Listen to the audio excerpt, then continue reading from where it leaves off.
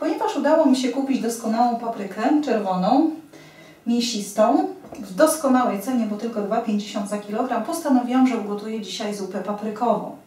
Do tych sześciu papryk dodam jeszcze no, po kawałeczku ostrej papryki. Mam tutaj w trzech kolorach. Będzie potrzebna jeszcze puszka pomidorów. Zupę podam również z zielonym groszkiem, a więc puszka zielonego groszku. Dwie cebulki, mam już pokrojoną w kosteczkę. Y, naszą y, zupę doprawimy łyżką smakosza ekstra. Oczywiście sporą porcją świeżo zmielonego pieprzu. Tradycyjnie sól. Mamy tutaj również 4 liście laurowe i 5 ziaren ziela angielskiego. Żeby nasza zupa była bardziej aromatyczna i taka zdecydowana w smaku, dodamy także 5 ząbków czosnku. Warzywa podsmażymy na oleju i będzie również potrzebne całe opakowanie śmietany 18%, ponieważ to będzie solidna porcja zupy. Oczywiście na zupę przygotujemy na bulionie drobiowym i potrzebujemy około 2 litrów. Kończę siekać czosnek. Oczywiście jeśli ktoś woli, może przecisnąć przez praskę. I już jest gotowy. Paprykę kroję w takie niezbyt szerokie paski. Oczywiście wcześniej usunęłam gniazda nasienne. Papryka jest naprawdę doskonałej jakości, jest bardzo mięsista soczysta.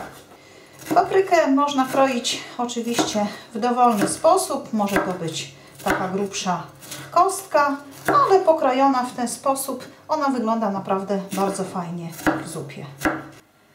Wszystkie składniki mam już prawie przygotowane. Zobaczcie jak to kolorowo wygląda. Teraz jeszcze posiekam drobniusieńko ostrą papryczkę.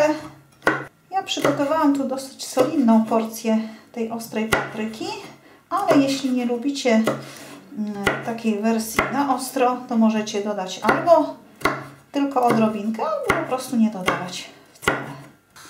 Podgrzewam bulion, dorzucam liście laurowe i ziele angielskie.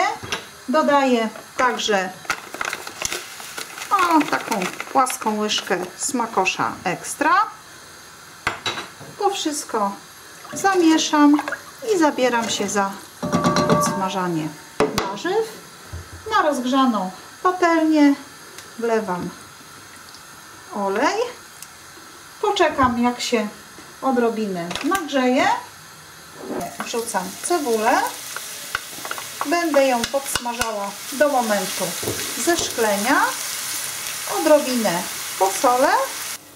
Cebulkę mam ładnie zeszkloną, a zatem wrzucam czosnek. Wszystko przemieszam.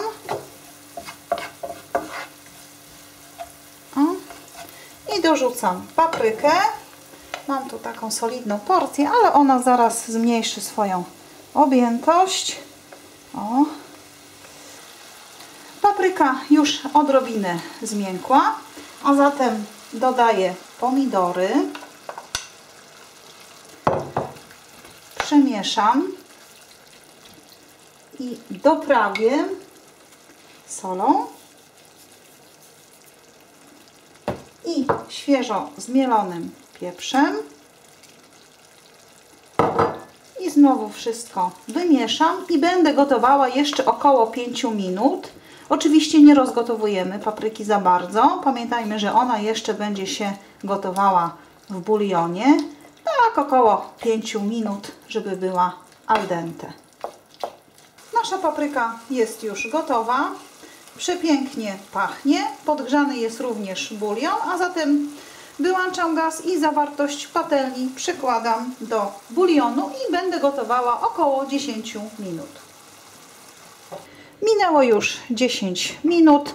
Nasza zupa cudownie pachnie, pięknie też wygląda, a zatem wrzucam groszek. Ponieważ mam groszek konserwowy, to ja wrzucam go pod sam koniec. On wymaga tylko delikatnego podgrzania. Jeśli byśmy mieli oczywiście groszek surowy czy groszek mrożony, no to byśmy musieli gotować go dłużej. Z groszkiem dosłownie minutę i zaprawiam zupę śmietaną.